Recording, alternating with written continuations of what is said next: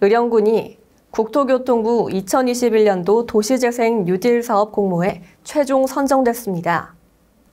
이번에 선정된 도시재생 뉴딜 사업은 상동지구 우리 동네 살리기로 의령읍 중동리 206번지 상동마을의 일원입니다. 사업 주요 내용으로는 안심마을 조성, 노후주거지 재생, 어울림공원 조성 등으로 구성돼 주민을 위한 도시재생 사업에 활력을 불어넣을 예정입니다.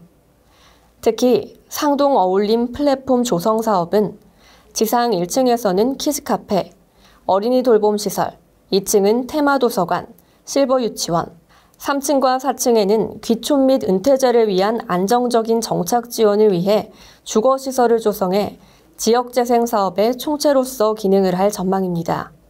또한 주민 역량 강화 지원 사업을 통해 주민 역량을 강화해서 지속적인 지역사회의 성장을 이어갈 계획입니다.